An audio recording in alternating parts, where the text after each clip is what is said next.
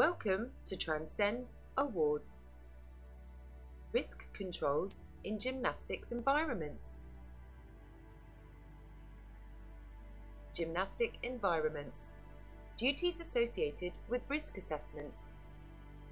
Gymnastics venue operators must assess the risks to all who are affected by gymnastics activities associated with infectious disease, which includes staff, participants, visitors, external hirers. They must introduce measures which include safe operating procedures to manage those risks. They must communicate risks and controls through safe operating procedures to all employees. They must record the significant findings of their risk assessments. They must conduct regular reviews of the risk assessment, especially when there is a change.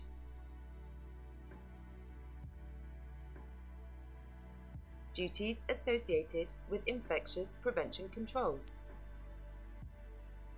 The industry governing bodies and regulators have identified risks and confirmed explicit controls which will prevent the transmission of infectious disease in indoor sports. Risks are associated with contracting a range of diseases.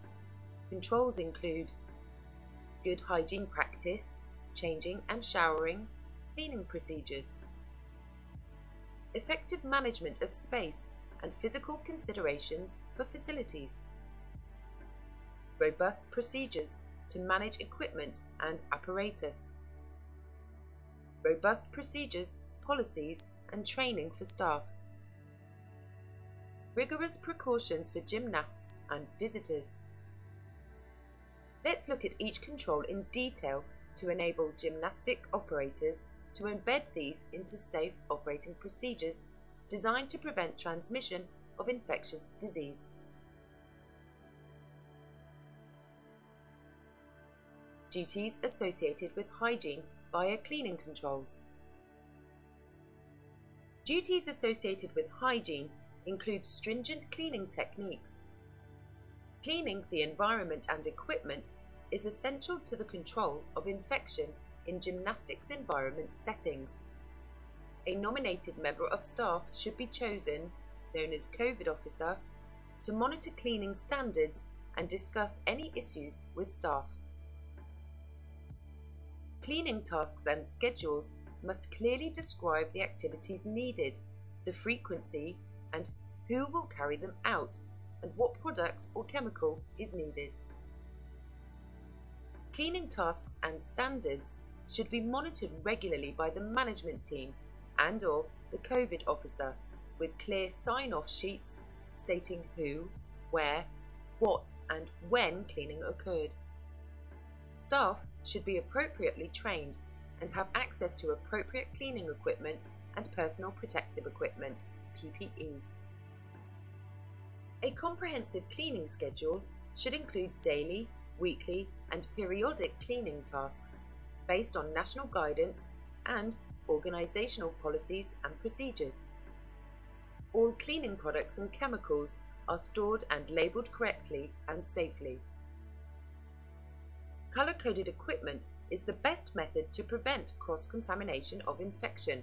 Examples include red for toilet hand wash basins and sinks, yellow for changing rooms, blue for general areas, green for equipment and toys. Duties associated with hygiene via cleaning controls. Cleaning solutions should be used and stored in accordance with the Control of Substances Hazardous to Health or COSHH. Cleaning equipment must be changed and decontaminated regularly. Cloths must be disposable or disinfected after every use.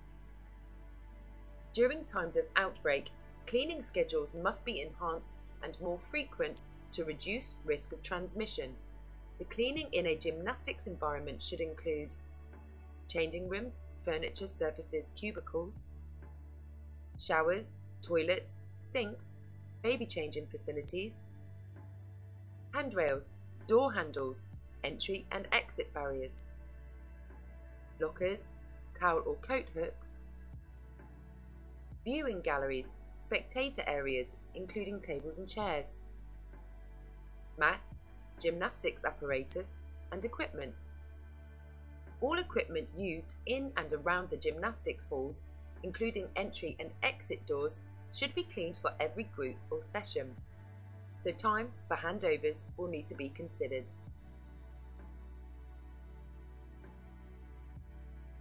Duties associated with hygiene via hand washing controls. Duties associated with hygiene include stringent hand washing controls.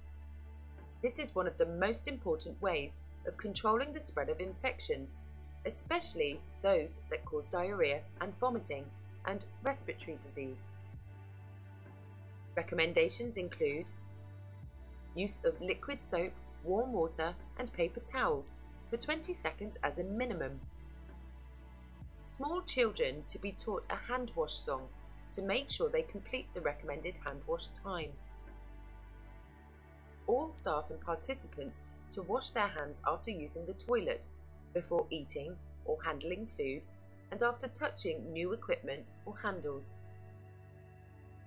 Signage placed around the facility as reminders for all staff, participants, and visitors.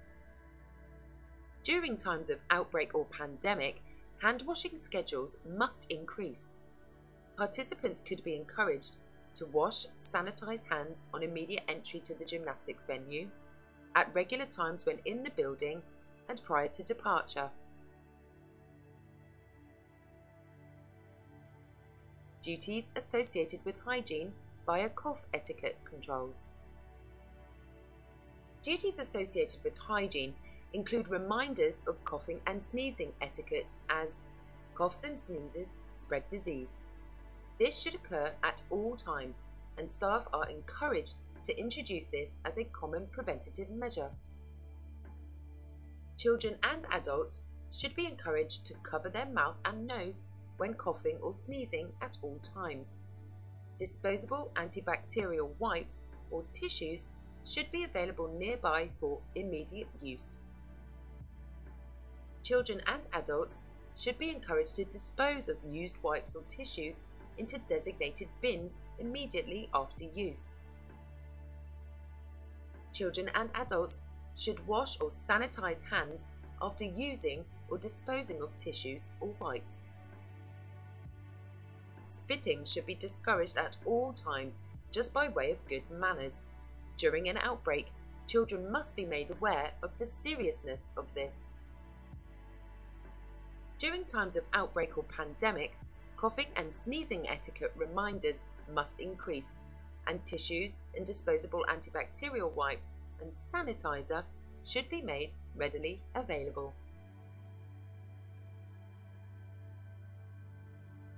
Duties associated with hygiene via changing and showering controls. Duties associated with hygiene include changing and showering as gymnasts may need to remove clothing and store safely along with possible options for showering. Operators and external hirers need the following considerations. Capacity of the changing rooms. Removing or putting out of use hair dryers and hand dryers. Space and access to and from the gym hall to maintain social distance not allowing use of showers and limiting time permitted in changing rooms. Staggering activity times to reduce the number of individuals in changing rooms. Scheduling time for regular and deep cleaning of changing rooms, showers, and toilets. Encouraging gymnasts to be gym ready on arrival. Designated changing spots or cubicles or bag or clothing storage areas per customer to avoid cross-contamination. It would be highly recommended that all operators and external hirers read the national guidance from British Gymnastics, UK Active, CIMSPA, etc the detailed descriptions and examples of controls that will support effective management of gymnastics environments.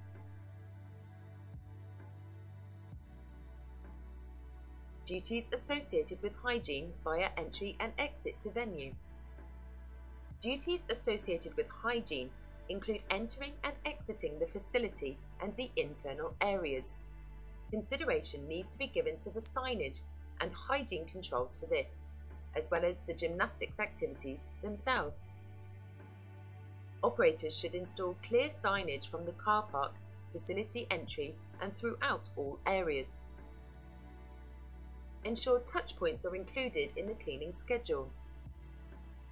Limit touchpoints for entry, automatic doors, removal of physical barriers and keeping internal doors open. Signage and communication to customers and visitors, including external hirers, should be consistent.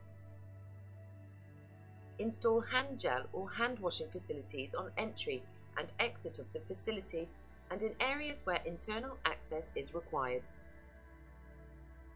Consider implementing one-way movement throughout the facility or containing visitors or participants in areas to avoid cross-contamination.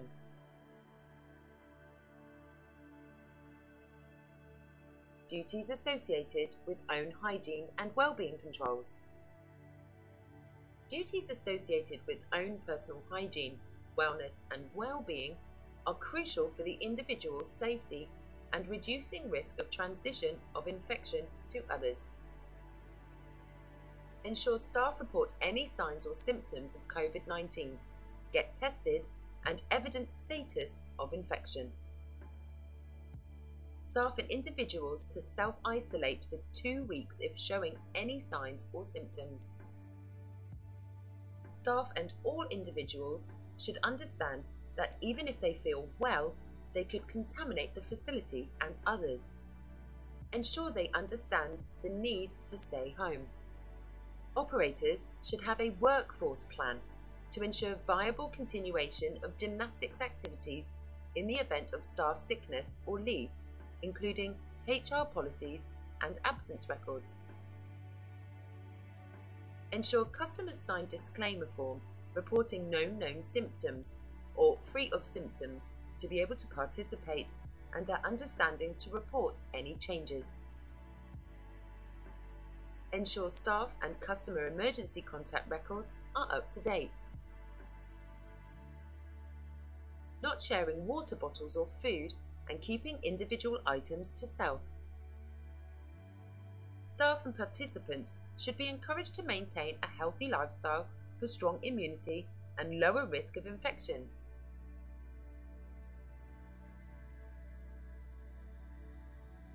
Duties associated with hygiene for medical incidents. Duties associated with hygiene include effective controls in the event of a cut, bite or bleed.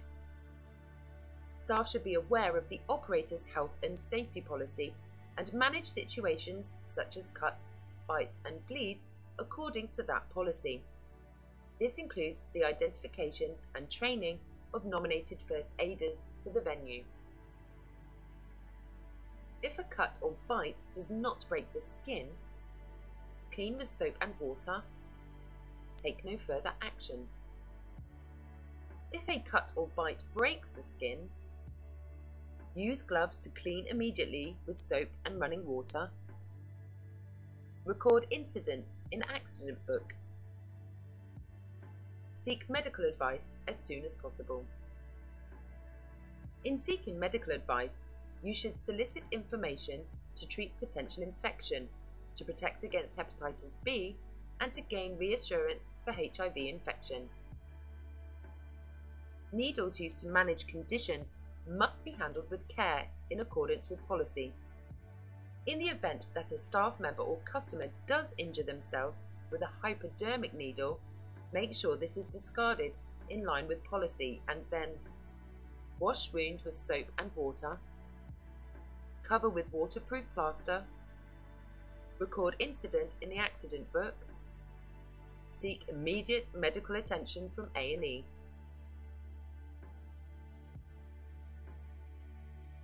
Duties associated with hygiene via cleaning controls for human spillages. Duties associated with hygiene include robust cleaning of blood and body fluid spills. All spillages of blood, feces, saliva, and vomit should be cleaned up immediately, wearing personal protective equipment. Spillages must always be cleaned using a product which combines detergent and disinfectant. It is effective against both bacteria and viruses. Manufacturer's instructions must be followed. Disposable paper towels or cloths must be used to clean blood and body fluid spills and disposed of after use. A spillage kit must be available for blood spills. When managing any situation, which includes first aid or cleaning of blood or bodily fluids, you must always wear disposable gloves and plastic aprons. Gloves should be disposable, non powdered vinyl, or latex free, and CE marked. You should also wear goggles if there is a risk of splashing to the face.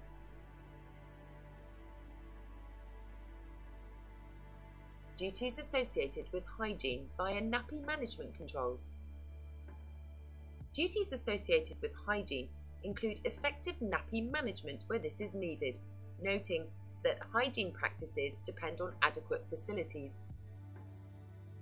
Children in nappies must have a designated changing area away from the gymnastics hall and from any area where food or drink is prepared or consumed. Hand washing facilities must be available in the changing area so that the adult can wash and dry their hands after every nappy change before handling another child or leaving the nappy changing room. Soiled nappies should be wrapped in a plastic bag before disposal in the appropriate centre waste disposal facilities. Children's skin must be cleaned with disposable wipes. Flannels should never be used and nappy creams and lotions labelled with the child's name and not shared with others. Changing mats must be cleaned with soapy water or a wipe after each use. Mats should be cleaned thoroughly with hot soapy water at the end of every day and discarded if there is any damage. It is advised to package nappy waste separately from other waste streams. Those that produce significant amounts of used nappies should contact their local authority to discuss appropriate disposal arrangements. Rubber gloves should be washed whilst wearing them and then wash and dry hands after taking them off.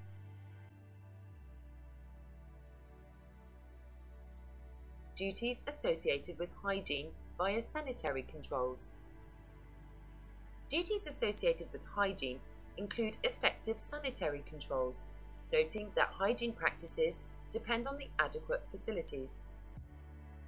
A hand wash basin with warm running water along with a mild liquid soap, preferably wall mounted with disposable cartridges, should be available. Bar soap should not be used. Disposable paper towels must be placed next to basins in wall mounted dispensers together with a nearby foot or sensor operated waste paper bin. Toilet paper should be available in each cubicle. If venues experience problems with overuse, they could consider installing paper dispensers to manage this. Suitable sanitary disposal facilities should be provided where there are female staff and customers aged 9 or over, junior and senior age groups. This ideally should be foot or sensor operated. Participants who use continence aids, such as continence pads or catheters, should be encouraged to be as independent as possible. The principles of basic hygiene should be applied by both customers and staff. Continence pads should be changed in a designated area, and disposable non powdered vinyl or latex gloves and a disposable plastic apron worn. Gloves and aprons should be changed after every use. Hand washing facilities should be readily available. Duties associated with hygiene controls for toys and equipment. The cleaning schedule should identify who, what, when, and how gymnasts apparatus, handheld equipment, toys, and venue equipment should be cleaned and be monitored. It is recommended that only hard toys and equipment are used to enable them to be cleaned after each play. Any damaged item that cannot be cleaned or repaired must be discarded. It is recommended that sufficient time between gymnastics activities are scheduled to allow for cleaning and reduce chance of clustering groups outside gym halls or in changing areas. Where possible, participants should and can bring their own equipment, including their own water bottles. Where possible, coaches should remain in the same coaching area throughout structured gymnastics activities and aim to use and clean the same equipment for their classes throughout their shift. Consider having multiple sets of equipment used in alternate lessons so one set can be cleaned whilst one is in use. Or designate a selection of equipment to each gymnast for the duration of the session and not to be shared amongst participants. Wherever possible, adults and coaches should discourage all children from placing equipment in their mouths. Thank you for watching. Feel free to watch as many times as you need or move on to the next part of your digital learning experience on your list.